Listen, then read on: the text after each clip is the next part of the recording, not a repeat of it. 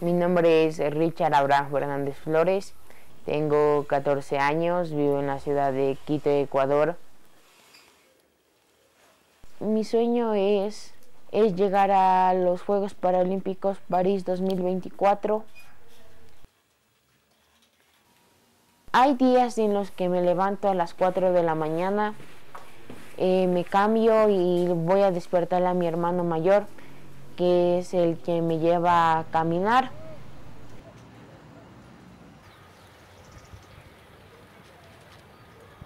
Tenemos un circuito de aproximadamente quizás 3 o 4 kilómetros que caminamos.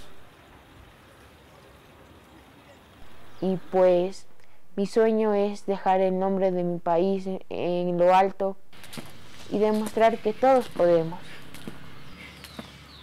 ¿Cómo era yo antes de la pandemia?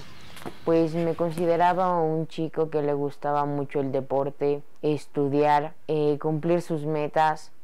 El 15 de diciembre del 2020 eh, me dijeron que ya no iba a volver a ver. La enfermedad es muy rara, se llama neuromilitis óptica y de 100.000 personas da una. Tengo otra enfermedad que se llama síndrome de Asperger que es un síndrome que se asimila a los chicos autistas. Me afectó muchísimo ya que tenía, por decirlo así, hecho ya todo un futuro asegurado. Me tocó comenzar desde cero.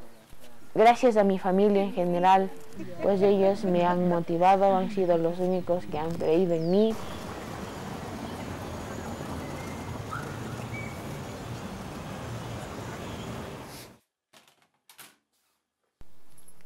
me he dado cuenta que yo soy un guerrero y a pesar de las adversidades me toca salir adelante y luchar por mis sueños.